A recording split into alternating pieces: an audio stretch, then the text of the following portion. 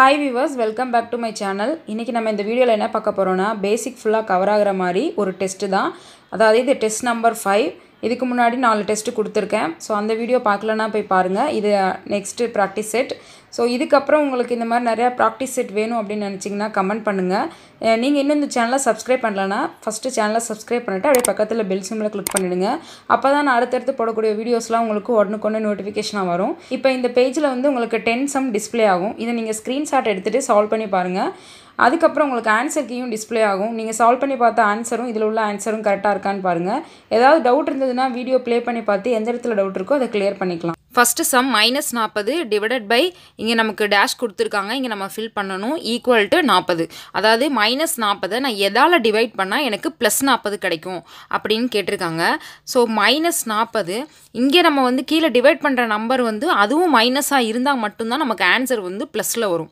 அதாவது மல்டிப்ளிகேஷன்லையும் டிவிஷன்லையும் நான் sign rule என்ன சொல்லியிருக்கேன்னா ஏதாவது ஒரு சைடு மைனஸாக இருந்தால் மட்டும்தான் ஆன்சரில் மைனஸாக வரும்.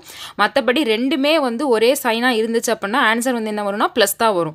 அப்போது இங்கே வந்து மைனஸ் இருக்குது அதனால் கீழே வர நம்பரும் நமக்கு மைனஸ் தான் வரணும். ஸோ இங்கே ஃபார்ட்டி இருக்குது இங்கேயும் ஃபார்ட்டி தான் வரணும் அப்படின்னா என்ன வரும்னா கண்டிப்பாக மைனஸ் ஒன்று தான் வரும். அப்படி வந்தால் தான் இந்த இடத்துல வந்து ப்ளஸ் நாற்பதுன்னு வரும். சரியா? அப்போ நமக்குரிய ஆன்சர் என்னன்னு பார்த்தீங்க அப்படின்னா மைனஸ் ஒன்றுங்கிறதான் இதுக்குரிய ஆன்சர் ஓகே நெக்ஸ்ட் சம் இரு எண்களின் பெருக்கல் பலன் மைனஸ் நூற்றி முப்பத்தி அஞ்சு அதில் ஓர் எண் மைனஸ் பதினஞ்சு எனில் மற்றொரு எண்ணை காண்க. ரெண்டு நம்பர் நம்ம மல்டிப்ளை பண்ணோன்னா அது மைனஸ் நூற்றி முப்பத்தஞ்சு வரும்னு சொல்லியிருக்காங்க. அதில் வந்து ஒரு நம்பர் வந்து மைனஸ் பதினஞ்சுன்னு சொல்லிட்டாங்க. அதாவது எக்ஸ் அண்ட் ஒய் அந்த ரெண்டு நம்பரை நம்ம எக்ஸ் அண்ட் ஒய்யாக எடுத்துக்கலாம். மல்டிப்ளை பண்ணது மைனஸ் நூற்றி முப்பத்தஞ்சு அதில் ஓர் ஓர் எண்ணுன்னு சொல்லியிருக்காங்க. அப்போ நம்ம எக்ஸுக்கு பதிலாக மைனஸ் பதினஞ்சு எடுத்துக்கிட்டோம்னா இன்னொன்று தான் நம்ம கண்டுபிடிக்கணும். அப்போ என்ன வரும்னு பார்த்தீங்கன்னா அந்த ஒய் மட்டும் அப்போ மைனஸ் பதினஞ்சு into y equal to minus நூற்றி முப்பத்தி அஞ்சு. இப்போ நம்ம ஒய் தான் கண்டுபிடிக்க போகிறோம் அப்போ ஒய் ஈக்குவல் டு மைனஸ் நூற்றி முப்பத்தி அஞ்சு. மல்டிப்ளிகேஷனில் இருக்குல்ல அப்போ இங்கே வரும்போது டிவிஷனில் வரும். இப்போ மைனஸ் பதினஞ்சு இங்கே இந்த இடத்துல வரும். இப்போ ரெண்டுமே மைனஸாக இருக்கனால மைனஸ் கேன்சல் பண்ணிடலாம். இதை நம்ம கேன்சல் பண்ணோம் அப்படின்னா என்ன வரும்னு பார்த்தீங்கன்னா ஃபஸ்ட்டு அஞ்சாவது வாய்ப்பாடில் கேன்சல் பண்ண என்ன வரும்னா முவஞ்சா பதினஞ்சுன்னு வரும். இது ஏழஞ்சா பத்து மீதி மூணு ஏழஞ்சா முப்பத்தி அஞ்சு மறுபடியும் இது ரெண்டையும் கேன்சல் பண்ண என்ன வரும்னா ஒன்பதுன்னு வரும். அதாவது மூணாவது வாய்ப்பாடில் கேன்சல் பண்ணோன்னா அப்போ ஒய்யோட வேல்யூ என்னது? ஒன்பது. ஓகேவா அப்போ அதில் நம்ம மற்றொரு எண் என்னதுன்னா ஒன்பது ப்ளஸ் ஒன்பது. ஓகேவா இதுதான் வந்து இதுக்குரிய ஆன்சர் நெக்ஸ்ட்டு தேர்டு சம் ஒரு சாய் சதுரத்தின் பரப்பளவு அறுபது சதுர சென்டிமீட்டர் அதன் ஒரு மூளை விட்டம் எட்டு சென்டிமீட்டர் எனில் மற்றொரு மூளை விட்டம் காண்க அப்படின்னு கேட்டிருக்காங்க. அதாவது நமக்கு பரப்பளவு கொடுத்துட்டாங்க. அதாவது சாய் சதுரத்தோடைய பரப்பளவு கொடுத்துட்டாங்க. என்னதுன்னா அறுபது சதுர சென்டிமீட்டர். அதில் நமக்கு ஒரு மூளை விட்டம் அதாவது டி ஒன் கொடுத்துட்டாங்க. டி ஒன் என்னென்னா எட்டு சென்டிமீட்டர். நம்மளை வந்து என்ன கேட்குறாங்கன்னா டி டூ தான் கேட்குறாங்க அப்போ சாய் சதுரத்தோட பரப்பளவு ஃபார்ம்லாம் என்னென்னு பார்த்தீங்கன்னா பார்த்தீங்கன்னா half into D one into D two ஓகேவா இப்போ நமக்கு அதோட வேல்யூ கொடுத்துட்டாங்க. என்னென்னு? அறுபதுன்னு கொடுத்துட்டாங்க. ஹாஃப் இன்ட்டு டி ஒன்னோட வேல்யூ என்னதுன்னா எட்டு டி டூ நமக்கு தெரியாது. ஸோ அதை தான் நம்ம கண்டுபிடிக்க சொல்லியிருக்காங்க. ஸோ அப்போ டி டூ மட்டும் ஒரு சைடு வச்சுட்டு மீதி எல்லாத்தையும் நம்ம இன்னொரு சைடு கொண்டு போகலாம். இங்கே நம்ம வந்து இதை கேன்சல் பண்ணிட்டதுக்கப்புறம் கூட கொண்டு போகலாம். இப்போ நம்ம கேன்சல் பண்ணோன்னா என்ன வரும்னா இங்கே ஃபோர்னு வரும். இங்கே ஃபோர் எங்கே இருக்குன்னா மல்டிப்ளிகேஷனில் இருக்குது டி டூவோட அப்போ இந்த சைடு வரும்போது அது டிவிஷனில் வரும். அப்போ டி டூவோட வேல்யூ என்னென்னா சிக்ஸ்டி பை ஃபோர் அப்போ கேன்சல் பண்ண என்ன வரும்? பதினஞ்சுன்னு வரும். அப்போ டி டூவோட வேல்யூ என்னது? பதினஞ்சு. அதாவது ரெண்டாவது மூளை விட்டத்தோட வேல்யூ வந்து பதினஞ்சு. நெக்ஸ்ட்டு ஃபோர்த்து சம் ஒரு எண்ணின் ஆறு மடங்கை நாற்பதிலிருந்து கழித்தால் மைனஸ் எட்டு கிடைக்குமெனில் அந்த எண்ணை காண்க அப்படின்னு சொல்லியிருக்காங்க. அதாவது ஓ ஆறு மடங்கை ஒரு எண்ணின் ஆறு மடங்கை நாற்பதுலேருந்து கழிக்கணும்.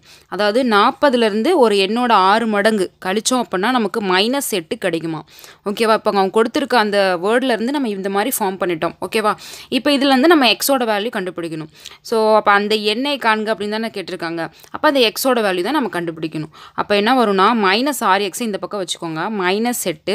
இந்த நாற்பது அந்த பக்கம் போச்சு. மைனஸ் நாற்பதுன்னு போகும். அப்போ மைனஸ் ஆறு எக்ஸ் ஈக்குவல் டு ரெண்டையும் நம்ம ஆட் பண்ணனா வரும். மைனஸ் நாற்பத்தி எட்டுன்னு வரும். இங்கே நம்ம வந்து மைனஸ் மைனஸை கேன்சல் பண்ணிடலாம். இங்கே கேன்சல் பண்ணிட்டோம்னா அப்போ ரிமைனிங் நமக்கு ஆறு எக்ஸ் ஈக்குவல் டு நாற்பத்தி எட்டுன்னு இருக்கும். அப்போ எக்ஸ் ஈக்குவல் டு நாற்பத்தி எட்டு பை ஆறு. கேன்சல் பண்ணால் என்ன வரும்னா ஓராறு ஆறு எட்டாறு நாற்பத்தெட்டு அப்போ எக்ஸோட வேல்யூ என்னது? எட்டு. ஓகே நெக்ஸ்ட்டு ஃபிஃப்த்து சம் மணி ஐந்து கிலோகிராம் உருளைக்கிழங்கை எழுபத்தஞ்சு ரூபாய்க்கு வாங்குகிறார் எனில் நூற்றி ஐந்துக்கு எத்தனை கிலோகிராம் உருளைக்கிழங்கு வாங்குவார்? அதாவது அஞ்சு கிலோ உருளைக்கிழங்கு வந்து எழுபத்தஞ்சு ரூபாய்க்கு வாங்குறாங்க. சரிங்களா? அஞ்சு கிலோங்கிறத எழுபத்தஞ்சு ரூபாய்க்கு வாங்குறாங்க. இப்போ நூற்றி அஞ்சு ரூபாய்க்கு எவ்வளோ கிலோ வாங்கியிருப்பாங்க அப்படின்னு கேட்குறாங்க ஸோ ஃபஸ்ட்டு நம்ம ஒரு கிலோ வந்து எவ்வளோ நம்ம கண்டுபிடிக்கணும். அஞ்சு கிலோ வந்து எழுபத்தஞ்சு ரூபானா ஒரு கிலோ எவ்வளோவா இருக்கும்? அப்போ ஒரு கிலோ எப்படி நம்ம கண்டுபிடிக்கணும்? எழுபத்தி அஞ்சை நம்ம அஞ்சால் டிவைட் பண்ணணும். சரிங்களா? அப்படி டிவைட் பண்ணால் நமக்கு என்ன வரும் அப்படின்னு பார்த்தீங்கன்னா பதினஞ்சுன்னு வரும். அப்போ ஒரு கிலோ வந்து எவ்வளவு? பதினஞ்சு ரூபா. அப்போ ஒரு கிலோ பதினஞ்சுனா நூற்றி அஞ்சு ரூபா வச்சு எத்தனை கிலோ வாங்க முடியும்? அப்படிங்கிறதையும் நம்ம எப்படி கண்டுபிடிக்கணும்? அப்படின்னு பார்த்தீங்கன்னா இந்த நூற்றி அஞ்சை நம்ம இந்த பதினஞ்சால் டிவைட் பண்ணணும். ஏன்னா இந்த நூற்றி அஞ்சில் எத்தனை கிலோ இருக்குதுன்னு நம்ம பார்க்கணும்ல? அப்போ எத்தனை பதினஞ்சு இருக்குன்னு நம்ம பார்க்குறோம். அப்படி பார்த்தோம் அப்படின்னா கேன்சல் பண்ணலாம். ஃபஸ்ட்டு நீங்கள் அஞ்சாவது வாய்ப்பாடில் கேன்சல் பண்ணி பார்த்தீங்கன்னா என்ன வரும்னா மூணஞ்சா பதினஞ்சுன்னு வரும். இதில் ஈரஞ்சா பத்து ஓரஞ்சு அஞ்சு. அப்போ இருபத்தொன்று பை மூணுன்னு வரும். இதையும் நம்ம கேன்சல் பண்ணோம் அப்படின்னா ஏழுன்னு வரும். அதாவது மூணாவது வாய்ப்பாடில். அப்போ என்ன வரும்? ஏழு. அப்போ நூற்றி அஞ்சு ரூபாய்க்கு அவரால் ஏழு கிலோ உருளைக்கிழங்கு வாங்க முடியும். சரிங்களா? ஸோ அப்போ ஆன்சர் என்னன்னு பார்த்தீங்கன்னா ஏழு கிலோ. ஓகே நெக்ஸ்ட்டு சம் தீர்க்க ரெண்டு ஈக்குவேஷன் கொடுத்துருக்காங்க. ஸோ இந்த மாதிரி தீர்க்க கொடுத்தாலே நம்ம என்ன பண்ணணும்னா அதில் இருக்க வேரியபிளோட வேல்யூஸ் ஃபைன் பண்ணணும். ஸோ இதில் ரெண்டு வேரியபிள் ரெண்டு ஈக்குவேஷன் கொடுத்துருக்காங்க. அப்படின்னா நம்ம எக்ஸும் ஒய்யோட வேல்யூ கண்டுபிடிக்கணும். ஸோ இதை கண்டுபிடிக்கிறதுக்கு நமக்கு மூணு மெத்தட் இருக்குது அதாவது substitution method elimination method cross multiplication method அந்த மாதிரி இருக்குது ஸோ இதில் நம்ம மோஸ்ட்லி நான் வந்து எலிமினேஷன் மெத்தட் தான் நான் வந்து யூஸ் பண்ணிகிட்ருக்கேன் ஸோ அந்த மூணு மெத்தடும் நம்ம எப்படி யூஸ் பண்ணணும் அப்படின்றதுக்கு நான் தனியாக ஒரு வீடியோ போடுறேன். ஸோ மோஸ்ட்லி வந்து எலிமினேஷன் மெத்தட் தான் நான் வந்து ஒவ்வொரு சம்லையும் நான் வந்து சால்வ் பண்ணி காட்டிகிட்டு இருப்பேன் ஸோ இப்போயும் வந்து எலிமினேஷன் மெத்தடில் தான். அதாவது நீக்கல் முறை. இது நம்ம வந்து ஈக்குவேஷன் நம்பர் ஒன்றுன்னு எடுத்துக்கலாம். இது ஈக்குவேஷன் நம்பர் டூ டூன்னு எடுத்துக்கலாம். இப் எக்ஸ்டம் வந்து ஈக்குவல் பண்ண போகிறேன் அப்போ என்ன பண்ணுவோம்னா ஈக்குவேஷன் ஒன்றை நான் டூவால் மல்டிப்ளை பண்ணுறேன் அப்படி மல்டிப்ளை பண்ணோம் அப்படின்னா two x plus six y equal to thirty டூன்னு வரும்.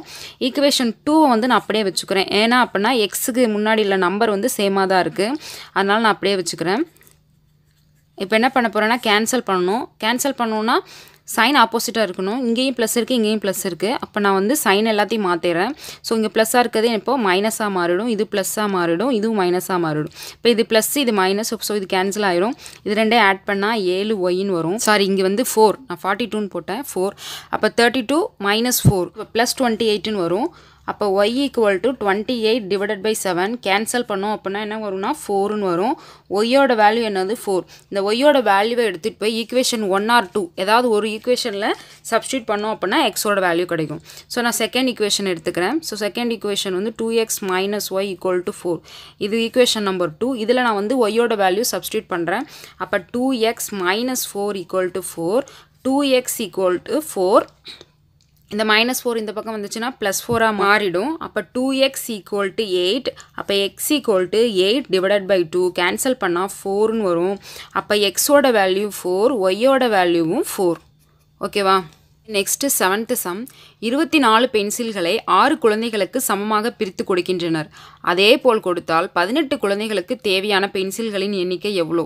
பண்ணலாம்னா இருபத்தி நாலு பென்சிலை வந்து ஆறு குழந்தைகளுக்கு நம்ம சமமாக கொடுக்குறோம். அப்போ ஒரு குழந்தைக்கு அதாவது இருபத்தி நாலு பென்சில் இருபத்தி நாலு பென்சிலை வந்து ஆறு குழந்தைகளுக்கு நம்ம கொடுக்குறோம். அப்போது ஒரு ஒரு குழந்தைக்கு எத்தனை பென்சில் கிடைக்கும் பார்த்தீங்கன்னா நாலு பென்சில் கிடைக்கும். இது எப்படி கண்டுபிடிக்கிறது? இந்த இருபத்தி நாலை நம்ம ஆறால் டிவைட் பண்ணி பார்க்கணும். சரிங்களா? அதாவது இருபத்தி நாலு பென்சிலாக ஆறு பேர் கொடுக்குறோம் அப்படின்னா நம்ம என்ன பண்ணணும்? அதை டிவைட் பண்ணி பார்க்கணும். டிவைட் பண்ணான்னா என்ன கிடைக்கும்னா நாலுன்னு கிடைக்கும். அப்போ ஒரு குழந்தைக்கு வந்து நாலு பென்சில் இப்போ என்ன சொல்கிறாங்கன்னா அதே போல் கொடுத்தால் பதினெட்டு குழந்தைகளுக்கு தேவையான பென்சில் அப்போ ஒரு குழந்தைக்கு நாலு பென்சில் தேவைப்படுதுன்னா பதினெட்டு குழந்தைகளுக்கு எத்தனை பென்சில் தேவைப்படும்? அதாவது பதினெட்டு டைம்ஸ் நாலு பென்சில் வேணும். பதினெட்டு குழந்தைகளுக்கு தேவைப்படும் பென்சில் பார்த்தீங்கன்னா பதினெட்டு இன்ட்டு நாலு. ஸோ இது ரெண்டையும் நம்ம மல்டிப்ளை பண்ணால் என்ன வரும்னா செவன்ட்டி டூ கிடைக்கும். இப்போ எழுபத்தி ரெண்டு பென்சில் தேவைப்படும். நெக்ஸ்ட்டு எயித்து சம் இதை நம்ம வந்து சிம்பிளிஃபை பண்ண போகிறோம் அதாவது minus three x square minus two minus of minus x square plus seven so இங்கே பார்த்தீங்கன்னா ப்ராக்கெட் இருக்குது ப்ராக்கெட்க்கு வெளியே மைனஸ் இருக்குது ஸோ அப்படி இருந்தால் நான் என்ன சொல்லியிருக்கேன்? இந்த மைனஸை உள்ளே கொண்டு போகும்போது உள்ளே எத்தனை டேர்ம்ஸ் இருக்கோ எல்லாத்துக்கும் நம்ம அதை கொண்டு போகணும் அப்படின்னு. அப்போது minus three x squared minus two இந்த மைனஸை நான் உள்ளே கொண்டு போனோன்னா இங்கே ஆல்ரெடி ஒரு மைனஸ் இருக்குல்ல? அப்போ ப்ளஸ் எக்ஸ் ஸ்கொயர்டுன்னு மாறிடும். இங்கே ப்ளஸ் செவன் இருக்குது இந்த மைனஸ் அங்கே போச்சுன்னா மைனஸ் செவன் மாறிடும். இப்போ அந்த ப்ராக்கெட் தேவையில்லை. இப்போ நம்ம வந்து எந்தெந்த டேர்ம்ஸை ஆட் பண்ண முடியுமோ சப்ட்ராக்ட் பண்ண முடியுமோ இப்போ நம்ம அதை பண்ணலாம். இப்போ மைனஸ் த்ரீ எக்ஸ் ஸ்கொயர் இருக்குது இங்கே ப்ளஸ் எக்ஸ் ஸ்கொயர்ட் இருக்குது அப்போ மைனஸ் டூ எக்ஸ் ஸ்கொயர்டுன்னு வரும். இது வந்து ரெண்டுமே number term minus two minus seven அப்போ ரெண்டே ஆட் பண்ணால் மைனஸ் நைன் கிடைக்கும்.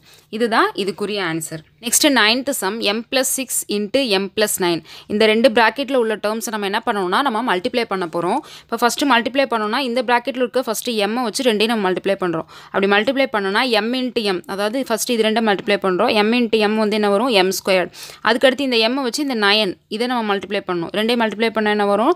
இங்கே நைன் எம்னு வரும். அதுக்கப்புறம் சிக்ஸ் வச்சு இந்த ரெண்டு டேம் அப்போ சிக்ஸ் இன்ட்டு எம் என்ன வரும்? சிக்ஸ் எம் அப்புறம் சிக்ஸ் இன்ட்டு நைன் ஃபிஃப்டி ஃபோர்னு வரும்.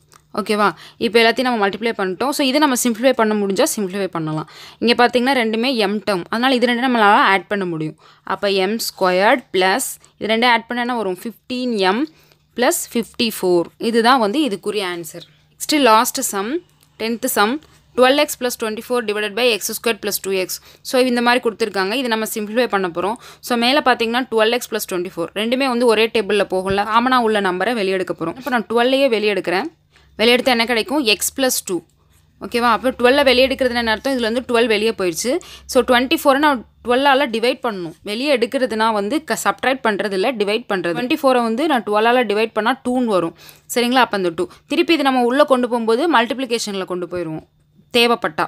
ஓகேவா ஸோ டிவைடட் பை இங்கே x square plus two x so இது ரெண்டுலேயும் வந்து காமனாக இருக்குது. என்னென்னு பார்த்தீங்கன்னா எக்ஸ் காமனாக இருக்குது ஸோ அப்போ அந்த ரெண்டு டேர்மில் எக்ஸ் காமனாக இருக்கிறதுனால எக்ஸை மட்டும் வெளியே எடுத்தோம் அப்படின்னா என்ன வரும்னா எக்ஸ் ஸ்கொயர் அதில் எக்ஸ் வெளியே போயிடுச்சுன்னா எக்ஸ் மட்டும் இருக்கும். இங்கே எக்ஸ் வெளியே போயிடுச்சுன்னா ரிமைனிங் டூ மட்டும் இருக்கும். ஓகேவா ஸோ இப்போ இது ரெண்டையும் நம்ம கேன்சல் பண்ணலாம் இல்லையா? அந்த ப்ராக்கெட்குள்ளே இருக்க ரெண்டையுமே. ஸோ கேன்சல் பண்ணால் ரிமைனிங் நமக்கு என்ன கிடைக்கும்னா டுவெல் பை எக்ஸ்ன்னு கிடைக்கும். இதுக்கப்புறம் இதை வந்து ஒன்றும் பண்ண முடியாது. அப்போ இதுதான் வந்து இதுக்குரிய ஆன்சர் ஓகேவா இந்த வீடியோ உங்களுக்கு யூஸ்ஃபுல்லாக இருந்தது அப்படின்னா இந்த வீடியோக்கு லைக் கொடுங்க. இது மாதிரி நிறையா ப்ராக்டிஸ் செட் உங்களுக்கு வேணும் அப்படின்னு நினச்சிங்கன்னா நீங்கள் அதை கமெண்ட் பண்ணுங்கள் அப்போ தான் நான் இந்த மாதிரி நிறையா ப்ராக்டிஸ் செட் போடுறதுக்கு எனக்கு ஒரு மோட்டிவேஷனாக இருக்கும். இந்த வீடியோ உங்கள் ஃப்ரெண்ட்ஸ்க்கு ஷேர் பண்ணுங்கள் ஏதாவது டவுட் இருந்தால் கமெண்ட் பண்ணுங்கள் மறக்காமல் சேனலை சப்ஸ்கிரைப் பண்ணிவிடுங்க தேங்க்யூ